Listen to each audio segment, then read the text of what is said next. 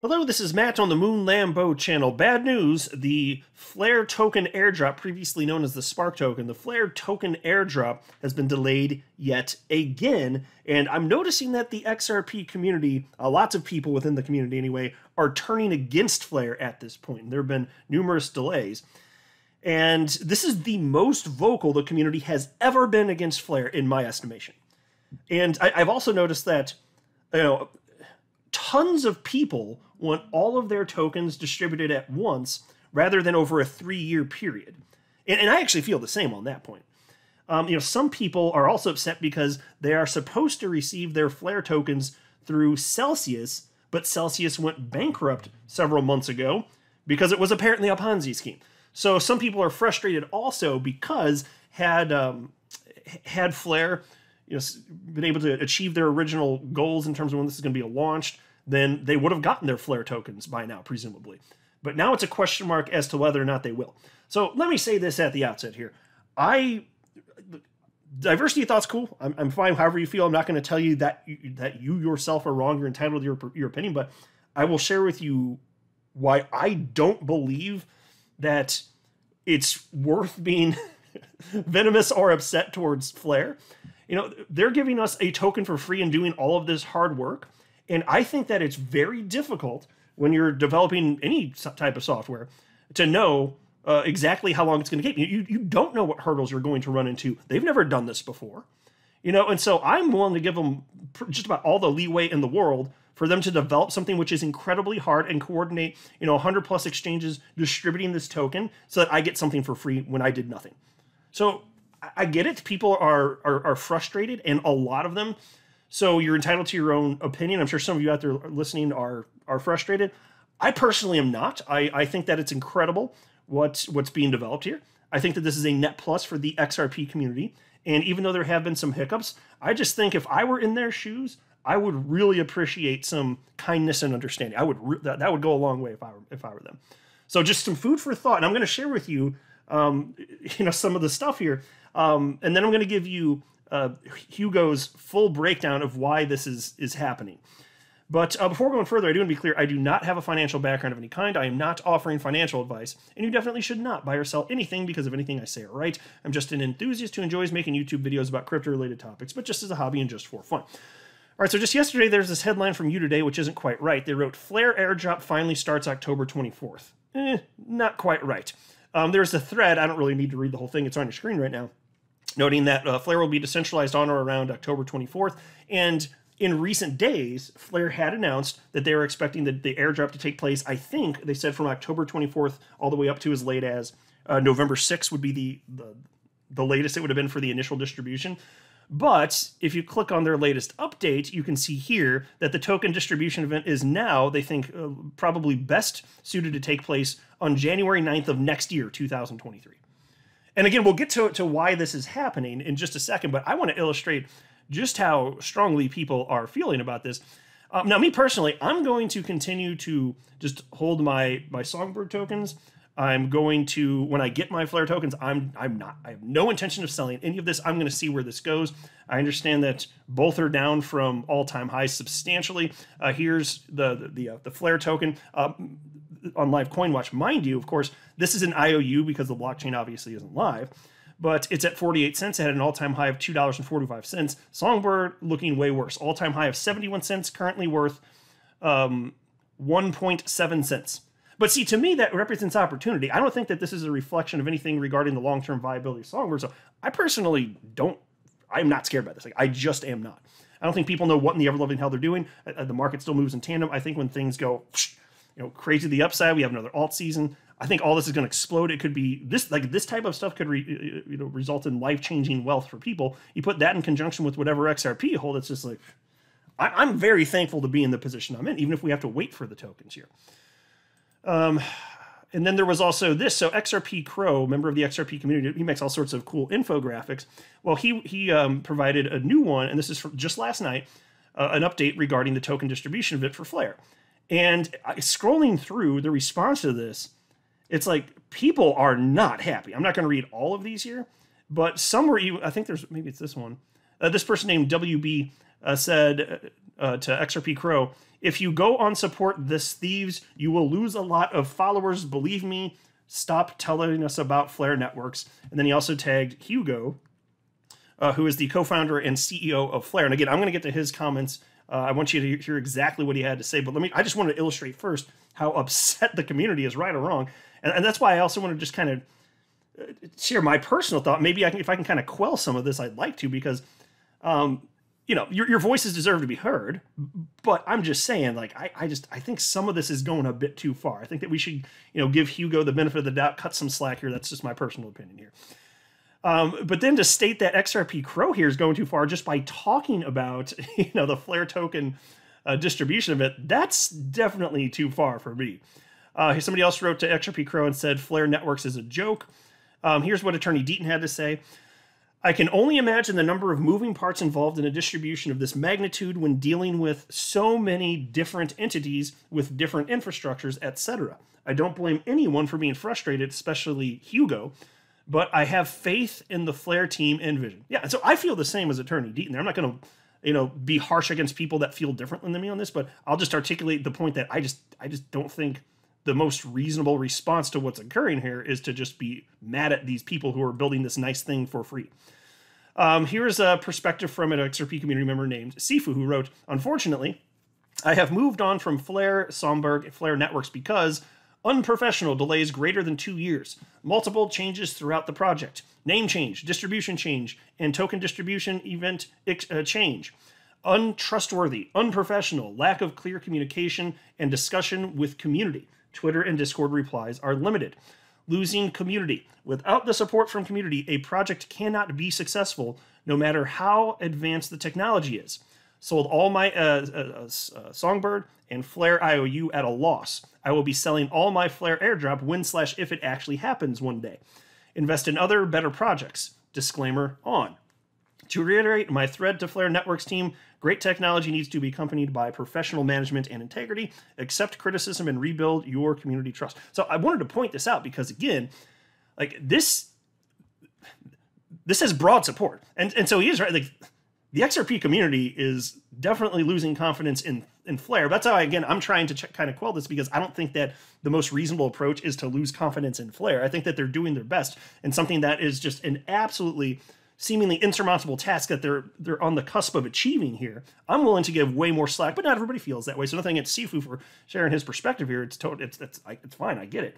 And I'll note that he got 131 uh, hearts on that. He's got 919 followers. That's a ton of hearts for that many followers. That's a ton. So I'm just telling you, there's a lot of the community that feels this way, and I'm sure many of you listening actually do feel this way. I, I personally don't. Uh, so no disrespect to anybody that does feel this way, but I'm just trying to encourage you to maybe just you know cut a little bit more slack here. You know what I'm saying? That that's it. Just my personal opinion.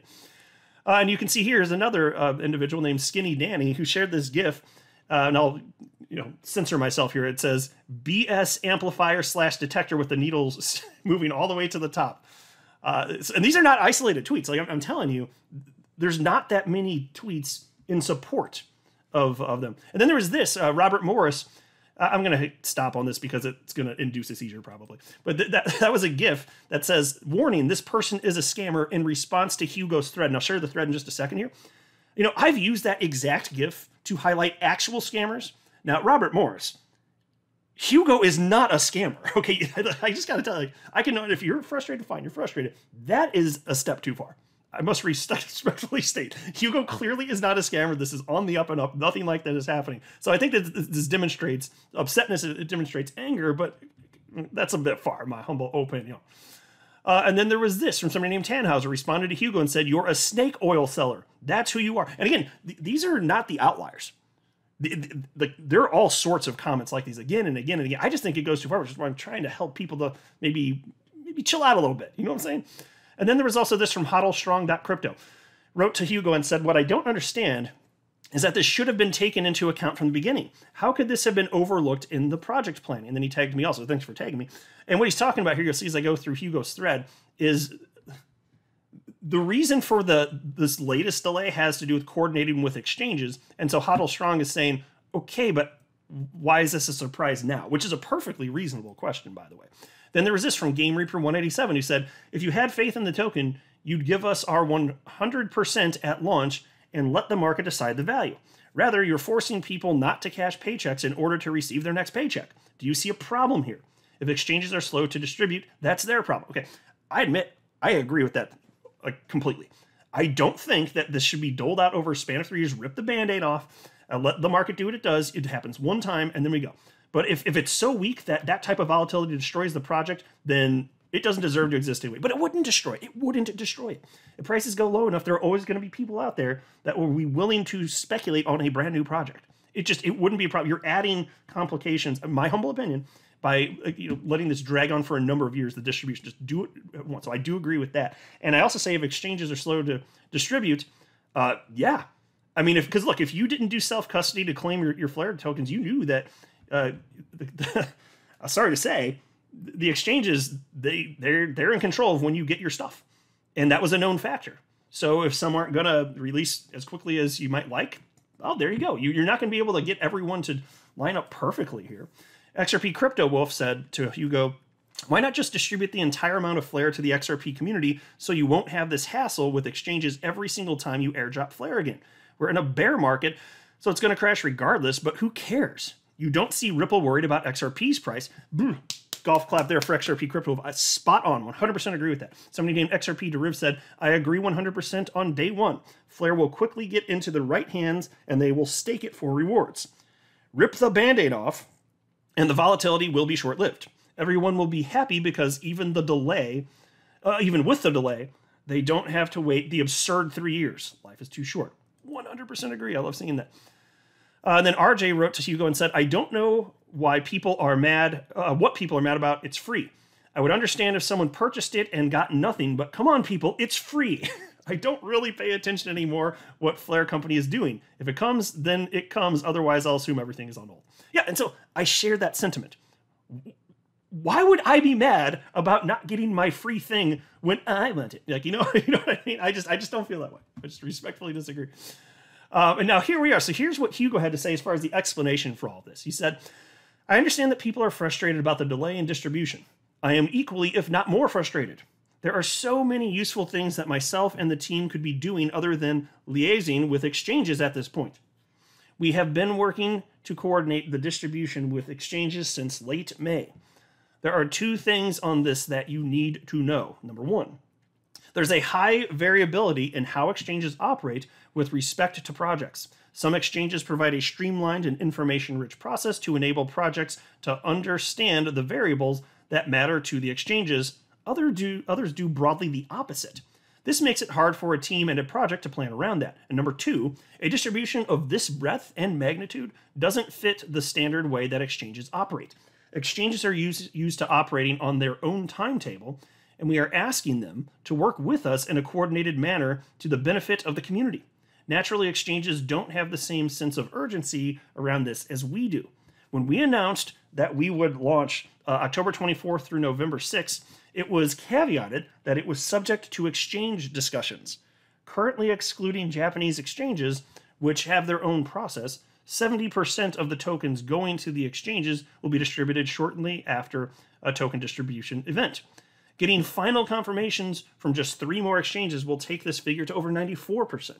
I made the decision to push back the distribution for two reasons. And number one, if there are months between exchange distributions, then recipients at later distributing exchanges will be adversely affected by not having the chance to take part in the FTSO, participate in governance over FIP.01, or receive the token distribution through the mechanism outlined in FIP.01 if it goes ahead. Then the much bigger reason, number two, although unlikely, as all exchanges have shown willing, there is the possibility that an exchange doesn't distribute for a long time or at all it needs to be strongly noted. Whilst the tokens have not been distributed, Flare working together with the community have leverage. After token distribution, this leverage disappears completely. Lastly, although I can certainly appreciate that it may not look like it from the outside, the team have done a tireless job and have been very successful so far in getting the 70% that will be distributed swiftly after token distribution event. When and if social pressure needs to be applied, please work with us to get the rest of the way there so that Flare can launch well and the community can get the tokens they deserve. Lastly, January 9th would be the absolute last date for token distribution event. Uh, come what may, we will do the distribution then. If we can do token distribution event sooner, we will. I will update you when we have further news or have an action that the community can undertake to help get the distribution out. Okay, so here's the thing, and I'm, I'm on Hugo's side, but still, I, I, I'll say this: I I don't care about I don't care about all the exchanges uniformly releasing at the same time. I just don't care. I don't think that that's something that Hugo should care about. That's unless he can articulate a reason why we should care. I, I to this point I have I haven't seen that reason articulated because it's still if it's decentralized, it's still going to launch. It's still going to be fine, right? So if some get their tokens later, okay, too bad, so sad. You always could have done self custody. You know, this is a known factor that you're not in control of what the exchanges do. So you just move forward in good faith and you don't worry about it. I'm just, I, I haven't seen articulated why it's so important that we do this type of coordinated uh, drop where it's we, we do everything to ensure that it's at the exact same time. I, I don't see this. That would be my critique. Uh, I'm not furious about this, and maybe if there is a good reason, maybe Hugo has one, and I'm just unaware of it, and he didn't share it in this thread. I don't see it though, so that's why at this point my my stance is pretty well. Who cares? Just release the damn token. Like I, so I would rather see that stuff. I'd rather see him stick to the, um, you know, by that November 6th date. But it's not the end of the world. Oh gosh, I have to wait another couple months after all this. Oh no, for my free stuff. all right, I'll, I'll stop you, Iron. You let me know what you think. I know it's divisive here, so uh, no disrespect to anybody. However you feel, let me know. It's okay. Um, but I'll stop there. I'm not a financial advisor. You should not buy or sell anything because of anything I say or write. That would be a very, very, very bad idea. Until next time, to the moon, Lambo.